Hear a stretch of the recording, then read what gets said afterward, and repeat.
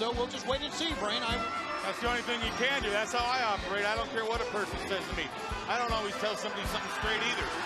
You have to wait and see their actions. You got to do what you have to do at the time. No doubt about it. Bischoff was the most powerful man in this sport. He took over.